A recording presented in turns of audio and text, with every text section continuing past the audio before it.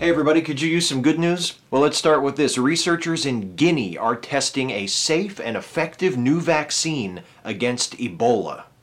The experimental vaccine was tested in a trial that included over 7,500 participants. It was shown to provide a high level of protection against Ebola infection as early as 10 days from being administered.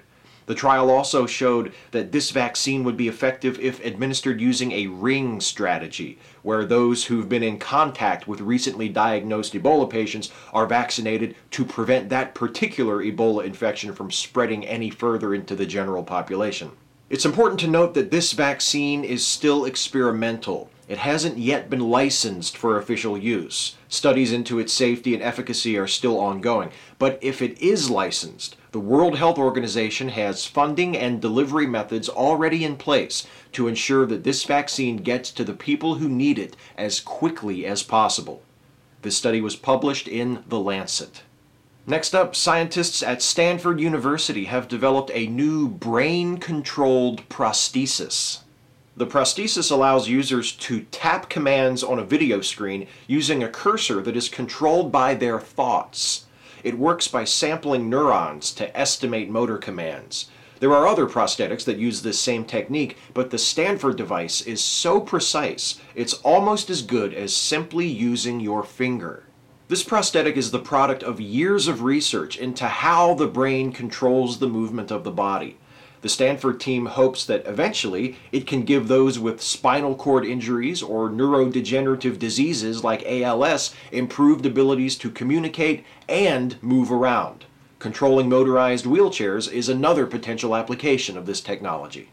And finally, astronomers at the University of Geneva have discovered a planetary system in the constellation Cassiopeia, a mere 21 light years from Earth. The system is designated HD 219134. That's the star right there next to Cassiopeia's distinctive W formation. It's smaller and cooler than our Sun, but bright enough to be seen with the naked eye on a dark, clear night. The star hosts four planets an outer gas giant and three inner terrestrial planets, which are all estimated to be larger than Earth. HD 219134 is now the nearest known extrasolar planetary system to Earth. It's so close to us that relatively soon we'll know more about the properties of its four planets than we know about any other extrasolar planets. And with new giant telescopes being built over the course of the next decade, there's even a good possibility of being able to directly observe the system. Exciting stuff. A new Ebola vaccine is shown to be safe and effective in human trials. Scientists create the most precise brain controlled prosthetic yet, and astronomers discover a planetary system that is just down the block from us. Well, cosmically speaking. That's the good news.